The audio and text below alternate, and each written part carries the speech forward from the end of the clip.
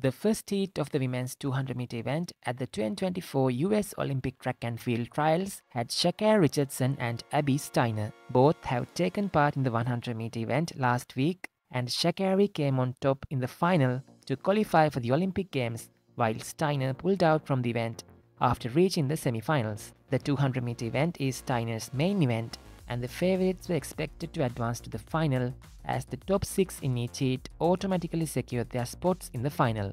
Richardson stormed to a brilliant victory in the heat, clocking an incredible season's best of 21.99 seconds in front of Abby Steiner, who also ran a season's best of 22.29 seconds for the second place finish. Both Steiner and Richardson have already competed couple of times in the half lap event this year, coming into this week.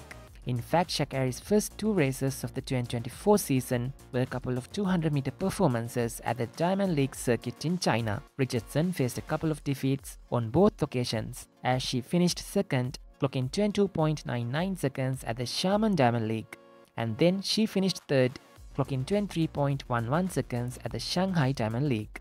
The American athlete then ran four outstanding 100 meter races, one at the Prefontaine Classic and the other three at the US trials last week, going inside 10.9 seconds in all four races. Even though Sha'Carri's main event is the 100, she is going to be a contender for a podium finish this week in Eugene. 200 meter World Championships bronze medalist we look forward to making the Olympic team in the half lap event, which will allow her to achieve the sprint double at the Paris Olympic Games.